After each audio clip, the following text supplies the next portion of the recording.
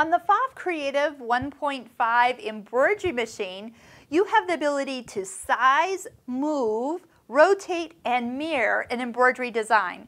So we've come into our designs from our USB stick. I've got design number nine selected. And with that, let's go ahead. I've got the 240 by 150 hoop. So I just need to make sure that I've got, did you notice that the squares change over here? So that means you have a bigger playground because we do. We have more room to move the design around.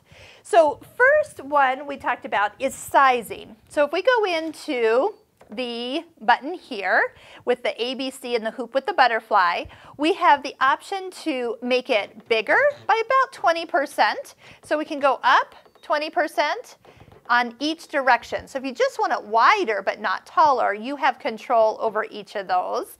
If the number is highlighted, you've changed it, and if it's not highlighted, you're back to normal. Do keep in mind that if the design had, for example, 10,000 stitches and you made it bigger, you still have 10,000 stitches. So a little bit more spread out, that's why they kind of limit you. And vice versa, if you do have a reduction of size, then you have still 10,000 stitches and they start to get a little tight. So just kind of keep in mind, play, don't go too far. Uh, the machine should kind of keep you within a safe ballpark. Uh, for moving a design, you have the ability just to use the arrows to move a design to the left, or like when I went ahead and stitched out here the, the Pfaff lettering, I just moved it all the way to the lowest part of the hoop until it didn't let me go any further. Remember, this is where you can go to the um, Alt and actually check and see like which one, uh, use those top arrows to see which corners, how big that design is actually going to stitch. And always do that before you stitch something out so you know its actual size.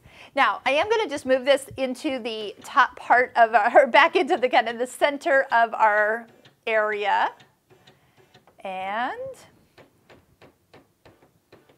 when we go into our A and B with a hoop button here, we have the option to rotate. Now here's a little trick. Have you noticed this P that's hanging out here? That P is going to remind you which way up is. So if the P is leaning to the side, then this over here is now the top of the design. So as you rotate it 90 degrees, 180, it's upside down, standing on its head, and then 270, and then all the way back to normal. Same thing when you mirror image something. So we can mirror image it and the P will flip flop. So now it looks like a Q. or if you flip flop it the other way, now it looks like a B. So that's why those look a little different. By the way, you can put on both mirror images, but you can always tell which area, which direction your design is facing based on which way that P is turned. If you want to do any other more detailed sizing or uh, making it even bigger than 20%, remember use the embroidery software that came with the machine that you download free of charge from the Pfaff website.